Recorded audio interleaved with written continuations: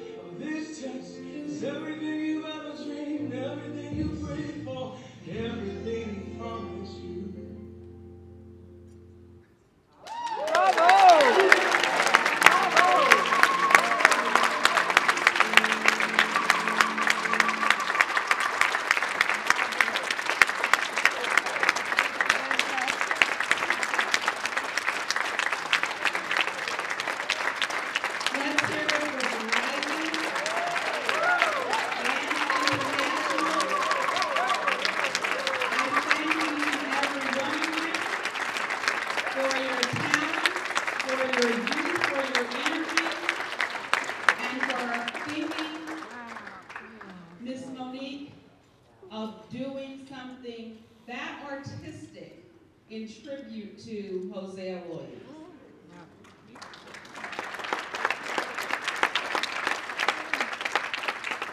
So we've had poetry about Hosea Williams tonight. We've had dance. And now